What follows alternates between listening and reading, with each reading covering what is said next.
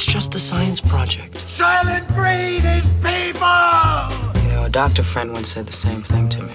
Frankenstein was his name. It's alive! It's alive! It's alive! That sounds like something out of science fiction.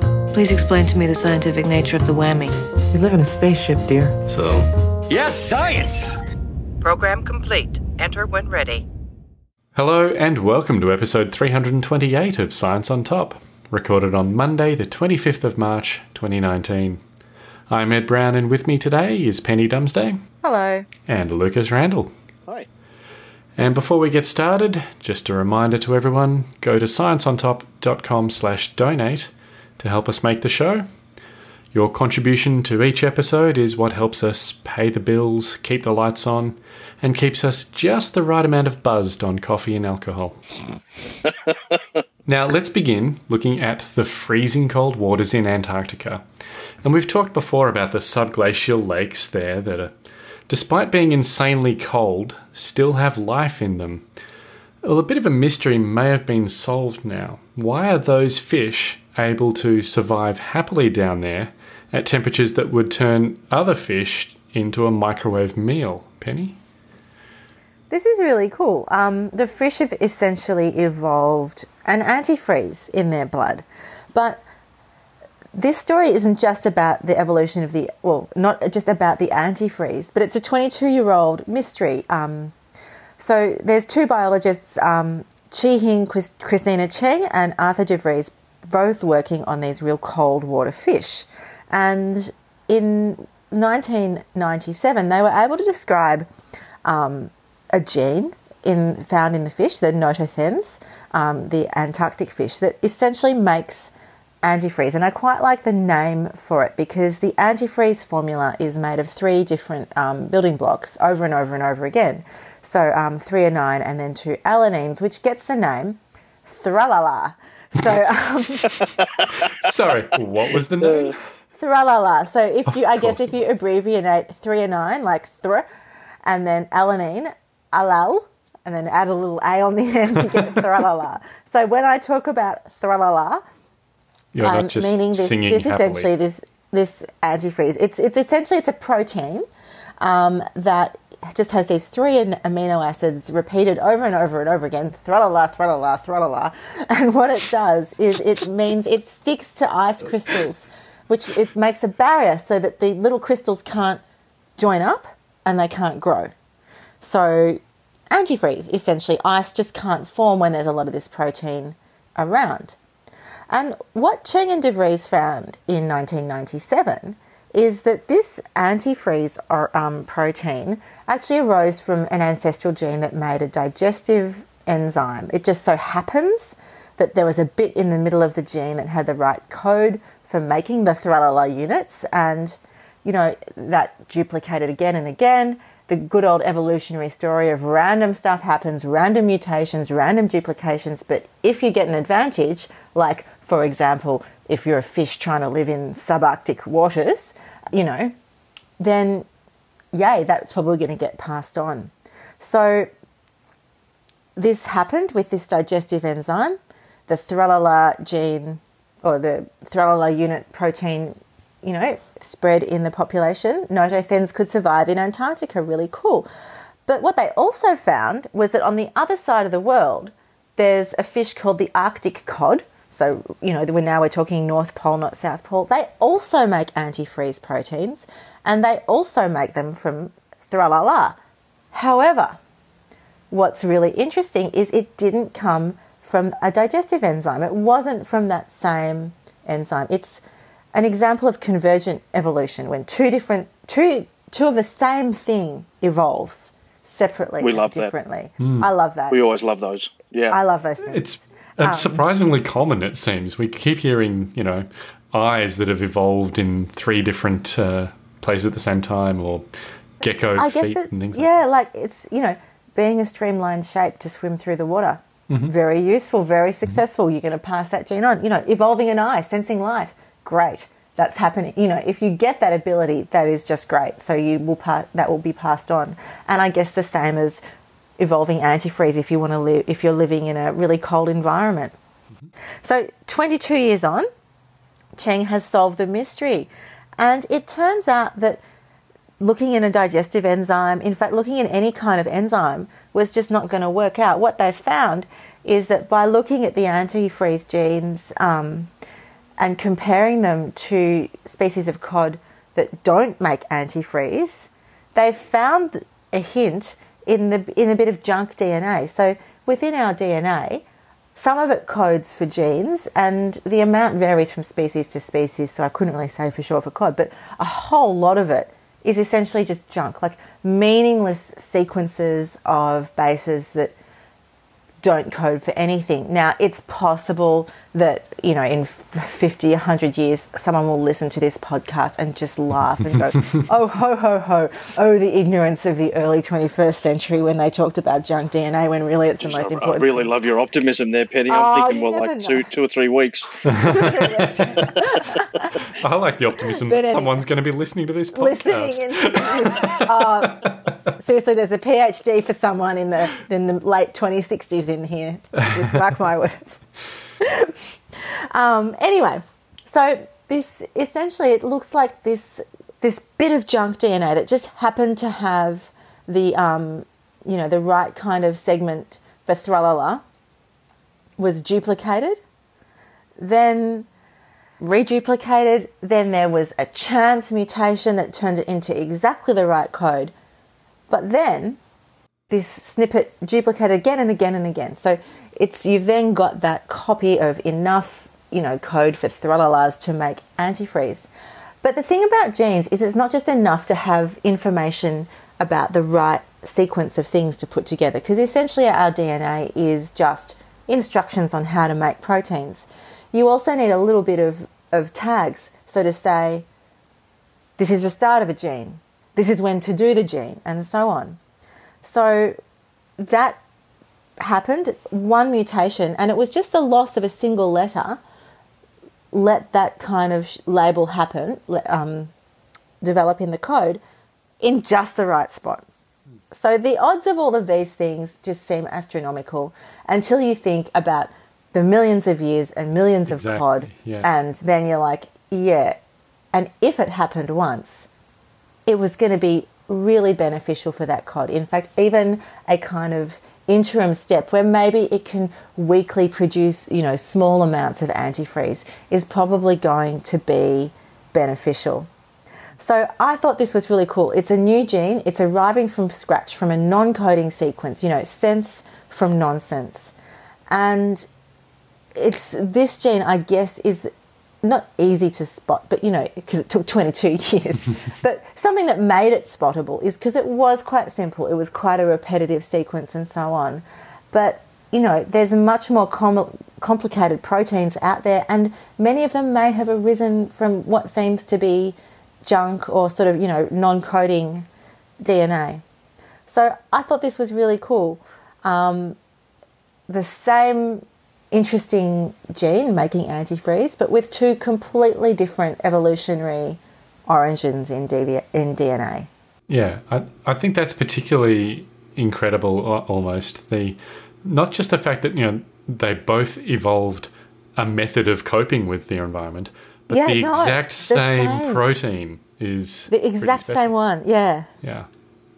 Ah, awesome. Um, and just any story about convergent evolution is going to get my interest. Uh, okay, let's now move on, and I want to talk about superheroes. And if you go down the list of superpowers, you get your flight and strength, maybe invisibility or mind reading is in there. But I'd say for most people, having a super sense of smell wouldn't be too high up on the list. And there are some super smellers, as they're known, in the world who can detect odours too subtle for most people. Why is this a superpower, you ask? Well, it could help you diagnose Parkinson's before other symptoms are showing. Lucas, talk to me about this. How is this happening? I really like this one. We've talked before on another episode, and I can't remember which episode it was, so maybe a listener who, who has just happened to have recently listened to it can let us know. But there was an episode where we talked about how I I've always been able to smell a cold on someone's breath. And I just thought everyone could do that. And I think it was when I brought this up on this podcast and all of you went, wait, what? that I've gone, is this not common? Is this not something that everyone can do? I remember doing this like in primary schools, like, oh, stay away from that kid, they've got a cold. And, and what I became aware of later on was that I'll ask people if they've got a cold and they'll say, and sometimes they'll say no, but then they can have a cold a day or so later. So, I mean, this is not data. This is. I was going to say right? you need to write that. this down and keep track. need to keep track. Need to do a proper study. Blah blah blah. Haven't done that. Don't care about it enough. But it's something that I anecdotally am aware of. That I, that's just something I can smell on people's breath, as far as I, I believe. Now, this this was quite interesting this story and it really jumped out at me for a number of reasons one the super smeller thing and, and, and identifying things um, using smell so there have been um, uh, i know there's been canines used in the past um, mm-hmm. to, uh, to to locate or um, you know basically to pinpoint people in in um, retirement homes for example um, who who are developing certain cancers that give off certain odors so it's not unprecedented for this sort of thing. But we're talking here about Parkinson's disease. Now, Parkinson's disease is is pretty prevalent. It, it affects about one percent of the population at age sixty, about four percent of the population by age eighty. It's one of those things that it's going to be cancer, Alzheimer's, or Parkinson's are probably things you're going to you know you, are going to face if you if you do live to those advanced ages. So it's relatively prevalent in the in the population. Now, but there's no cure for Parkinson's. We we really can't do much about it at all. Um, the there are various treatments that you can you can reduce your symptoms, but a diagnosis of Parkinson's, which usually comes along only once you are symptomatic, is something that pretty much is just the you know uh, the first knowledge you will have of a long downhill slide that you, you're facing. So it's it's not great. Now, one of the reasons we tend not to diagnose it until it's actually quite advanced is because the the degeneration, the neurodegeneration that occurs, uh, there's quite a lot that happens before you typically become symptomatic. So it's usually the symptoms that cue people on and they go and get tests and so on and so forth. Um, and on that, there isn't a simple test. You don't just go and you know go to your local pathology and get the Parkinson's test. There ain't one. Um, basically, it involves a whole lot of brain imaging and specialists, and and um, they're looking for certain brain cells that produce dopamine uh, that have been you know damaged or destroyed. So there's a lot going on, right? So um, it's it's quite a difficult thing to to even confirm. So, fast forward to a conference that was taking place over in the UK.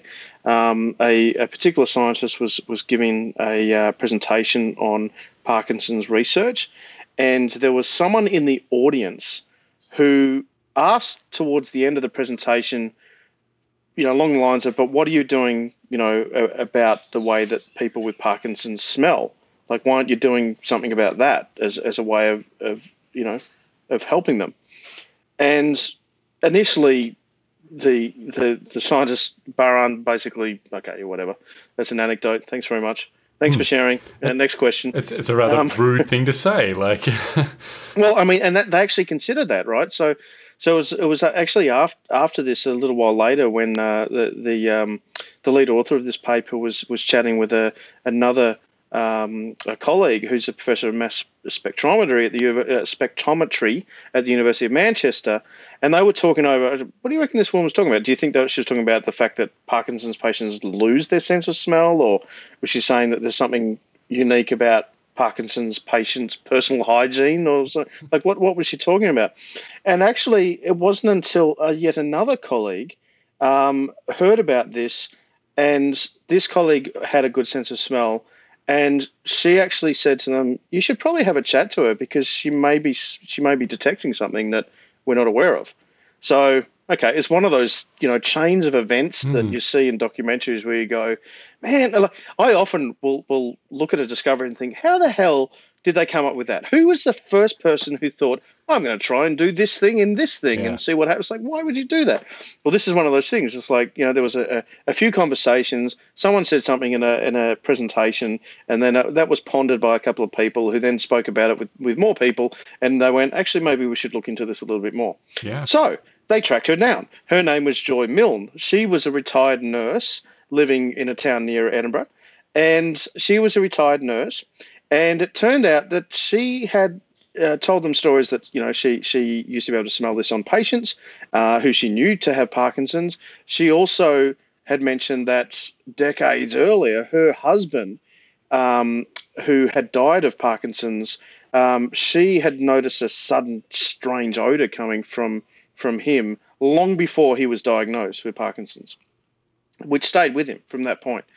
So so basically, as far as she's concerned, just like me with smelling cold, she just, as far as she was concerned, she can smell Parkinson's. That's just a thing that people do.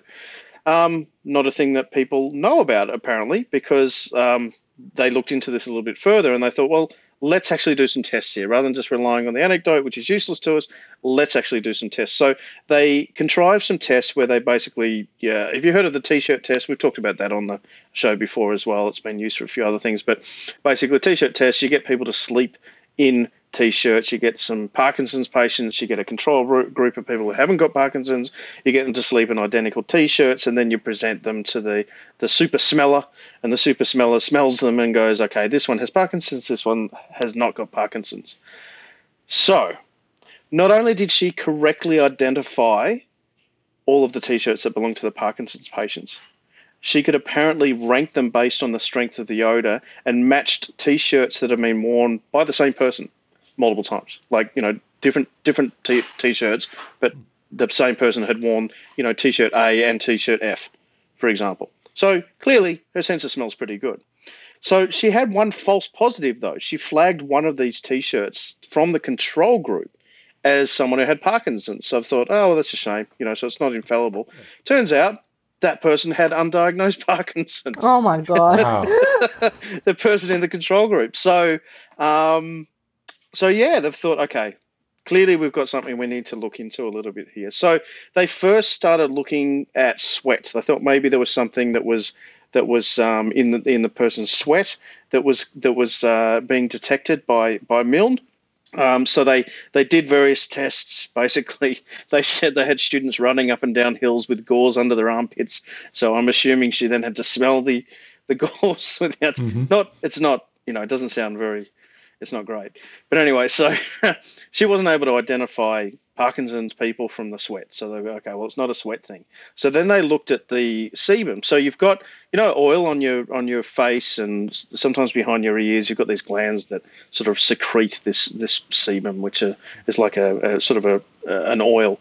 Um, they they basically narrowed it down to that. It was it was something that was in in in this oil that's that's on your your skin.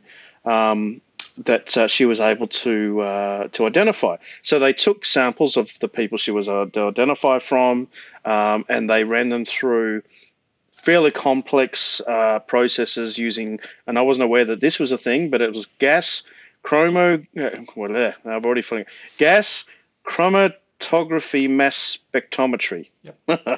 yes, or CGMS for short. I can see why they've got it for short on that one. Shame they haven't got something like Thralala or something. That would have been. Good. Um, yeah, yeah, I think this this episode clearly has to be called Thralala. yeah.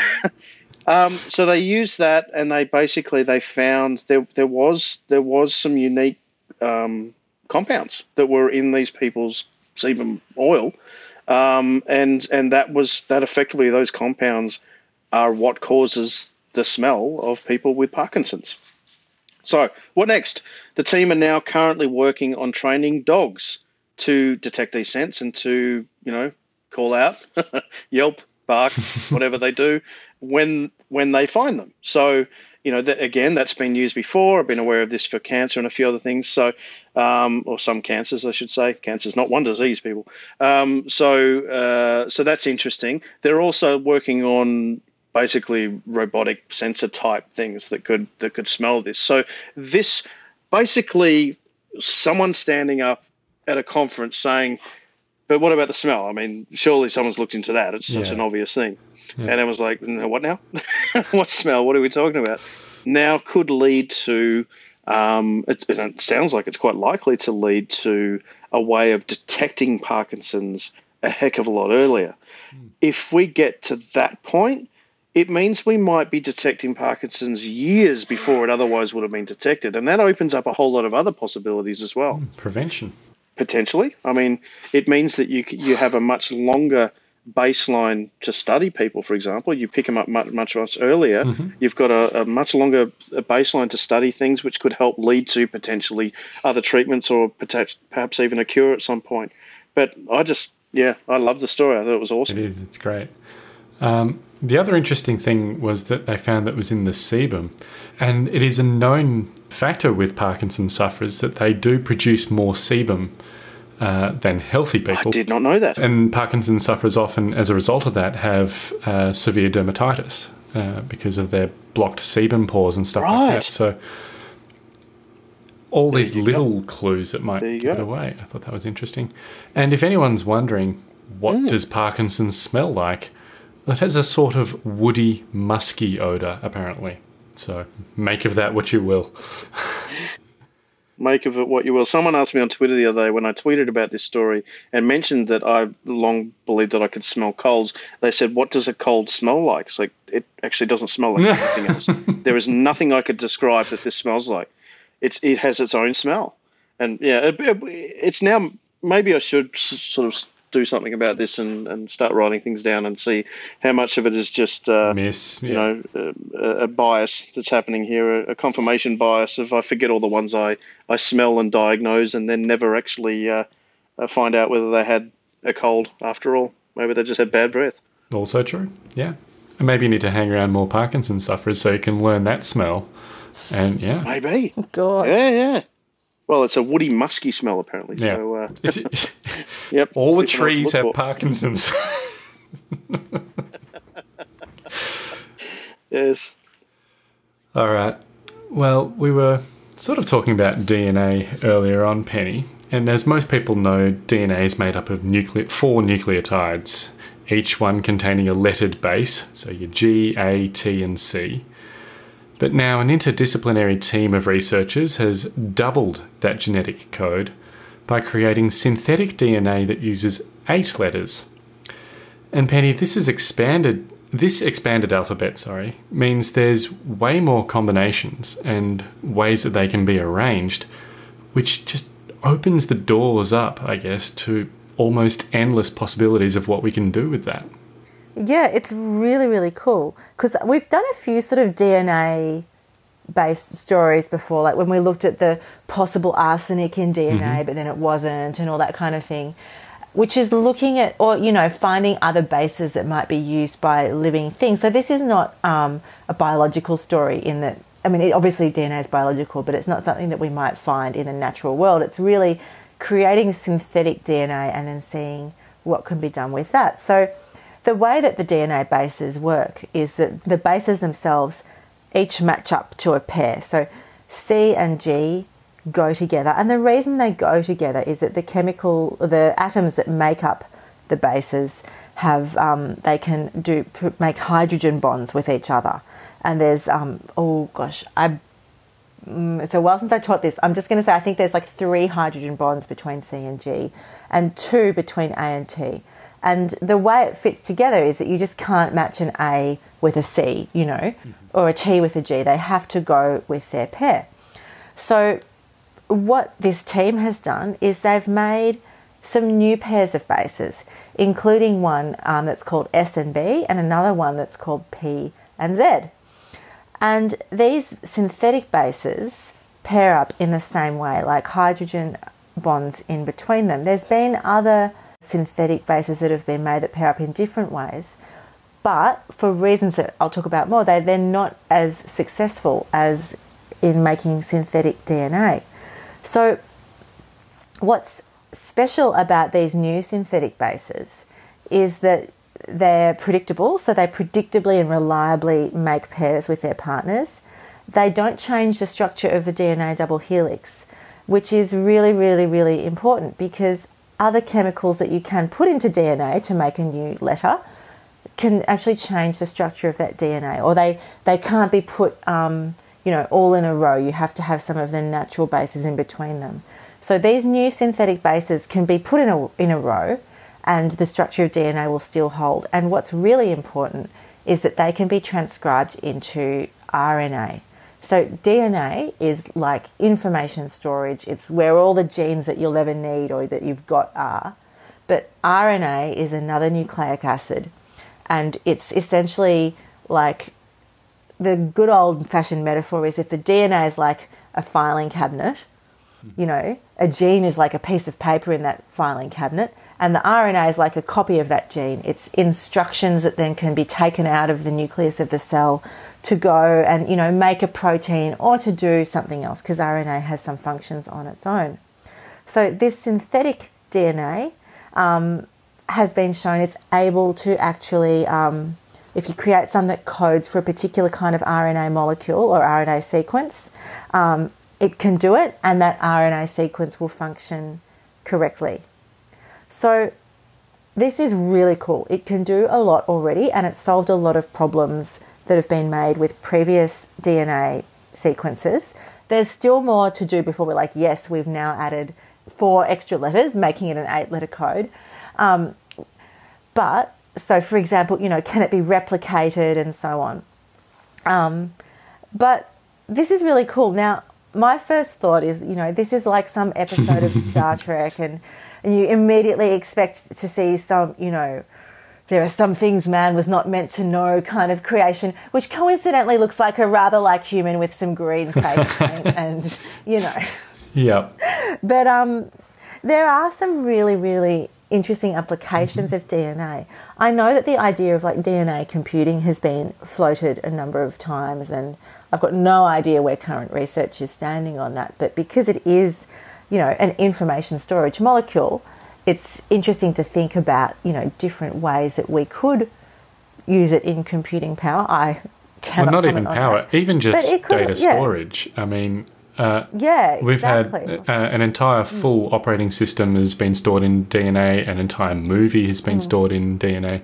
So it uh, obviously you can think about how tiny it is, and it lasts much Yeah. Mm. longer than any other method of storage that we have. So that's an impressive and exciting thing. And obviously, as I said, you just have that many more possible combinations. So infinitely Mm. more, almost infinitely more storage capability from that. Yeah, but on a more practical level, um, it's also been shown that strands of DNA that contained in two of these bases, Z and P, were actually better at binding to cancer cells, for example, Oh. than sequences using the normal DNA.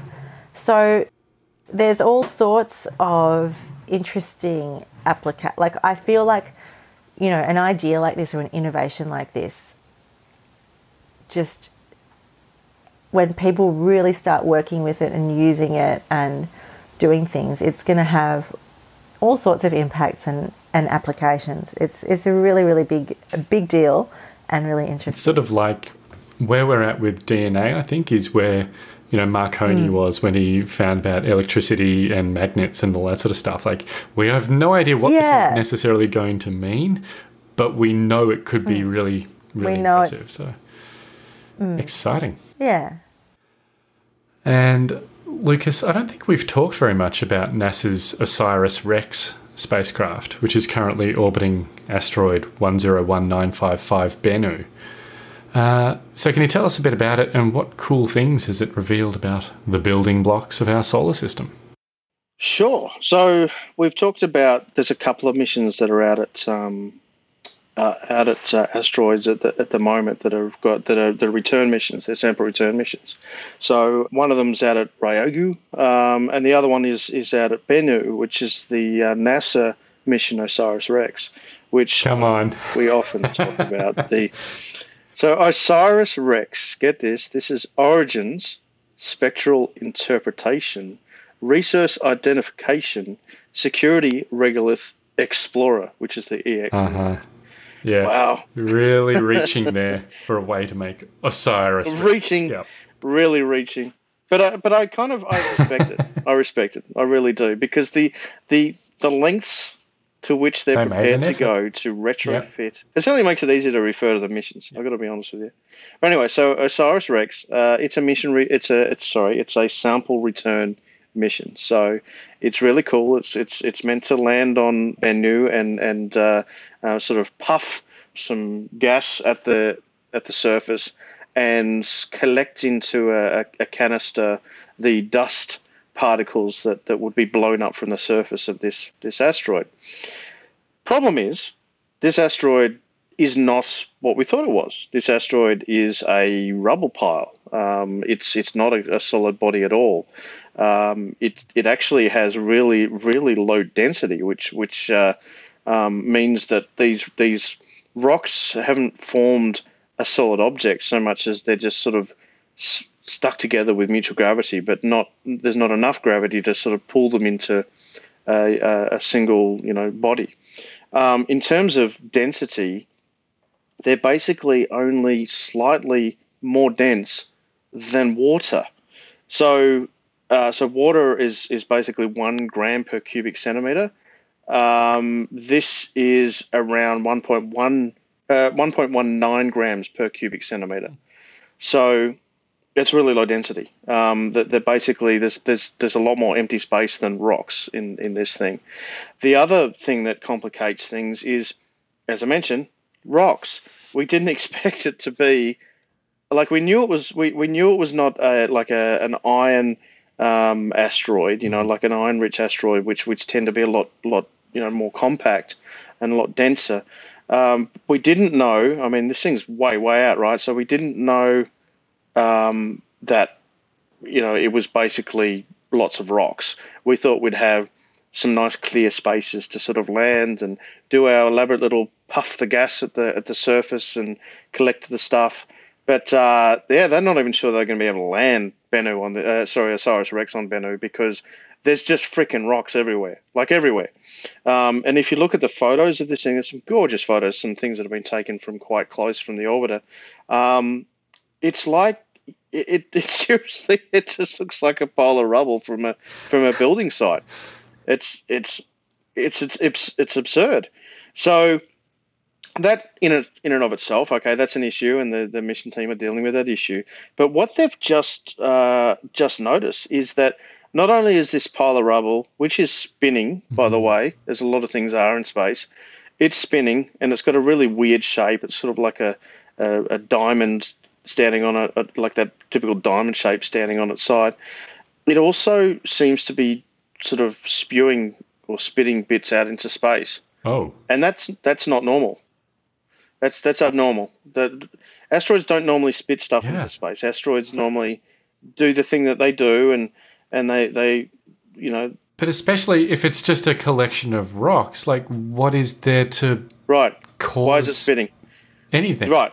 So so comets spit, right? But they don't. Well, they they outgas. So comets when comets come closer to the the sun, they heat up, and that causes usually in craters and stuff, it causes outgassing. So you get um you know sublimation of, of material going straight from from its its solid frozen state into into gas gas not gas gas something else uh, Sean Connery um, but uh, uh, but but that's that's not what's happening here we don't we don't have ice in fact it's actually really low on in terms of how much water it has in it which it itself is a bit of a an interesting thing actually because its low water content um, is at odds with with certain um, uh, certain structures which are only formed when there's water, which which have been observed. So it, it it's more evidence to the fact that this actually came from a much larger body at some point in time that was much higher in water,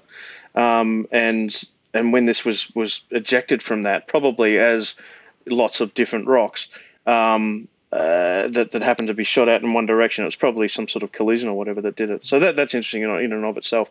But yeah, so really low uh, water density, which means that one possible explanation, which is that sunlight is hitting pockets of ice, for example, and causing them to turn to gas to sublimate, that mm-hmm. maybe would, would give a bit of a kick to individual bits of rock that would fly off. Now, these aren't big pieces of rock that are flying off, but they're big enough. They're not just dust sized stuff. There's some mm-hmm. like pebble sized stuff that's coming off of it. And if you look in the, the photos, there's there's photos where you can compare multiple shots and you can see the you know Bennu itself is rotating. I'm using my hands. My hands are up in the air in front of me, by the way. So just imagine my hands in my air. Uh, the the Bennu is Bennu is rotating, and as it rotates in these images, you can see you can see Bennu's rot- rotation as uh, you know in the foreground. In the background, you can see stars, which relative to each other are not moving. They are moving relative to the rotation because we're orbiting around and rotating things. So we're we're rotating, it's rotating. The stars are not, right? So you can see the background of the stars are are appear to be moving compared to the the to Bennu, but they're not moving compared to each other, right? So you know they're stars, but then there's other things that are moving relative to both, which are these these pebbles and particles and things, um, and they're being flown off in all sort of different directions. So it's almost like, okay, is there like some sort of, you know, Wizz Fizz party going on here? Is there, are, there are there things like what is causing this? We don't actually know what it is, um, and yeah. that's awesome. We love but, not knowing things.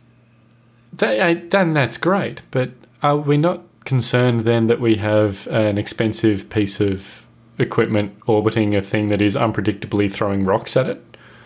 Sure, hey, mission parameters change. and, and, this is now this is now another really cool thing that we didn't know um, mm. that we have an instrument there that's observing, which is kind of cool. I think I mean we're going to narrow down on it, right? There's there's a whole lot of uh, theories as to why this could be. Uh, happening hypotheses, I should say, as to why this could be happening. So it could just be that there there is some kind of um, uh, spin related settling of, of these rocks. So Bennu has a spin, and in fact, it's it, it's being spun up. It will get faster and faster and faster over time, and that's mainly caused by light pressure and uh, and temperature differential. So it is slowly getting faster, and over a few million years, it will actually get so fast that it will fly apart because yeah. the the centrifugal forces will be t- too great. They'll overcome the uh, the gravitational force that's holding it together right now, and this thing will eventually spin itself apart, um, which is kind of cool. Uh, yeah. But we're nowhere near that point now, and there's not enough spin to be just throwing the rocks off at this point in time. So that ain't the because mm-hmm. of it.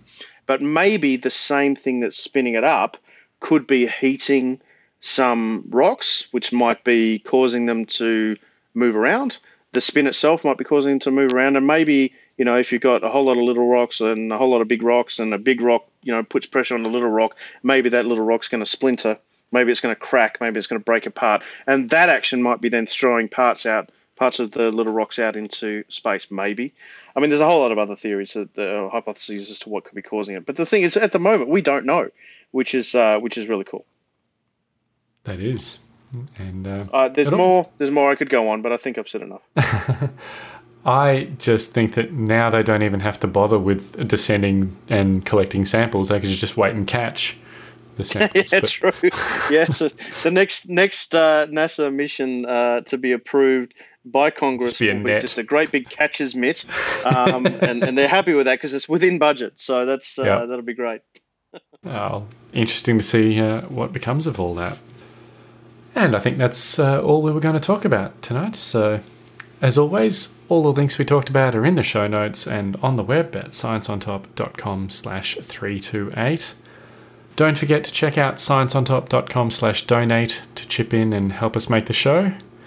Penny, Lucas, thanks for joining me today. Thanks, Ed. Thanks, Ed. And thank you everyone for listening. We'll be back again next week, putting science on top of the agenda. Join us then.